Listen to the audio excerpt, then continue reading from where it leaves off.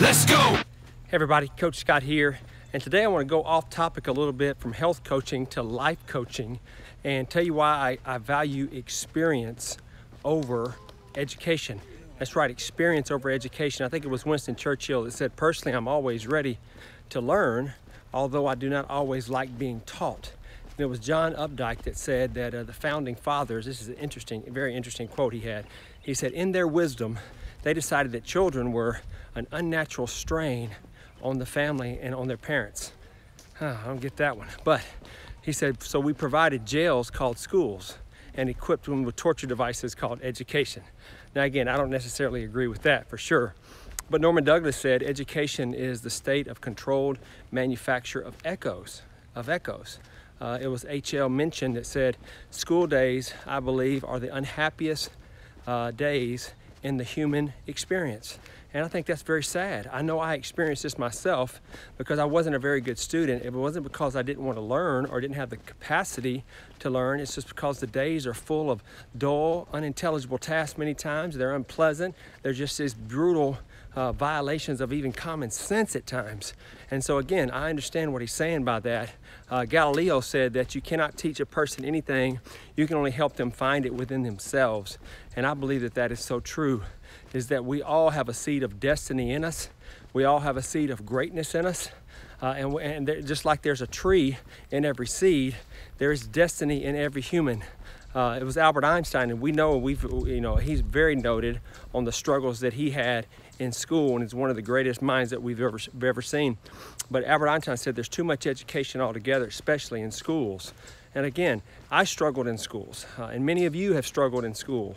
Uh, and again, the, the, the, current American school system uh, really did, didn't do me very well because again, it killed my spirit of, uh, of excitement and, and exploration. And I was, I was a boy, 100% boy, so I was uh, diagnosed with ADD. And so all these things, uh, you know, really began to stunt my educational pursuit. But it's one of the main reasons I became a teacher and a coach. But I want to share something with you. Out of all my years of education, it's paled in comparison to the real life experience I've, see, I've received through just life itself. And I call that the tuition of life. So today I want to talk to you about what it really means to get experience over education, okay? Uh, and again, I understand uh, a, a, degree still remains uh, the entry criteria for most jobs and organizations, and I understand that. Uh, most people want to see a degree; they want to see some type of degree. Now, and I, especially if you're talking about in a technical field or related field or your medical degree, you don't want somebody without a degree doing surgery on you. But again, I want to talk to you about why life experience, in many cases, is so many so much more valuable than just real book education. Uh, so the classroom versus real life is what I'm talking about. And again, when you go to school, what school will allow you to do is it'll put you, it'll put things in a framework and it'll analyze them. and it's an experience which guides you to take decisions and make decisions and many times give you uh, uh, courage and confidence to make uh, decisive uh, decisions on certain things. But experience uh, teaches you how to apply learning to produce favorable outcomes. Regardless of any of the uh, framework or concepts you might have learned in school, experience really, really is the teacher and the mother of all learning. And after all, there's a reason why Albert Einstein said the only source of knowledge is experience because knowledge and wisdom are two different things. Knowledge is information, wisdom takes experience how to apply that information.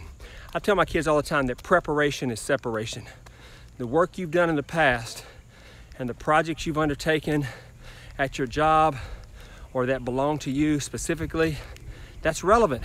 That's a relevant experience in your life, and it makes you stand out from the rest of the pack, even if you choose uh, to go for a formal education. Later, you've always got this experience, real life experience, things that a classroom cannot teach you. And again, it gives you a different value. It's a differentiator for most people. And more than anything else, experience lets you design and develop your own story while the rest of the people stick to an old, really obsolete script at many times. The third thing experience allows you to do is it allows you to find yourself. It allows you to, to see who you really are. Uh, how many times have we heard people getting through with their education, getting a degree, only to realize that this was not what they were meant to do. This was not the path. This was not their purpose. And this is largely due to a lack of self-knowledge and knowing who you are. And again, the most valuable contribution of life experience comes from a deep self-awareness that it gives to you. So again, don't underestimate this. Don't minimize this. The advantage of having worked on lots of different jobs in my past and learned about lots of different things allowed me to really learn about my strengths and my weaknesses and, and even areas in my life uh, that gives me insight about where my true passion really lies. And so for people wanting to find their purpose and find their passion, uh, getting some work experience in different areas, I think is a must. And I think we need to start teaching our children this. And the fourth thing is what I call IQ, EQ, and AQ. IQ is basically intellectual quotient.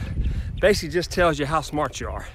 EQ is emotional quotient. How do you deal with ups and downs and your feelings and working with people? And then AQ, I think is the most important. That's adaptability quotient. How are you gonna act on the way up and how do you act on the way down? And employers want people to have realistic expectations about their job and what experience allows you to do. It allows you to learn about the everyday real realities of working life and most importantly equips you with some of those transferable skills needed to success in, uh, to be successful in any area of your life. And the next thing experience allows you to do that I've really learned is that it allows you to network. It allows you to meet different people, different backgrounds, different mindsets. And again, while a college degree, and I have multiple of those, it might increase your opportunity to open a door or get your foot in the door somewhere. Experience gives you access to a huge, huge network of people who have been there and done that. And it allows you to follow the clues of successful people and steer far from the ones that have not been successful. So again, it gets you into a, a form of wisdom that only experience can give you. So when you're thinking about education, it is definitely important. I am not minimizing that. I am an educator, I am a teacher. Uh, but remember that real life experience and developing those transferable skills can take you into your passion, it can lead you to your purpose, and it can help you be all that you were created to be. So, as a parent, uh, as a teacher, I want to encourage you as you look at your child, as you look at your student, as you even look at your employees, go uh, into the mindset of, of challenging them to get as much life experience as possible and watch the doors fly open, watch the ideas flow, and watch the destiny come to light. And if you'll do that, I believe and declare that you will be all that you were created to be. So God bless you guys. Take care. I'll see you on the next video.